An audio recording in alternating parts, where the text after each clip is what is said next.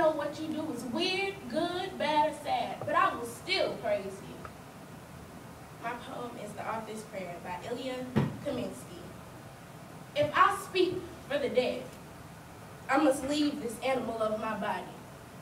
I must write the same poem over and over.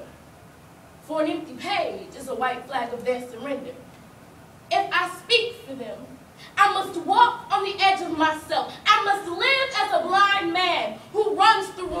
Without touching furniture. Yes, I live. I can dance and I can laugh in the mirror at myself.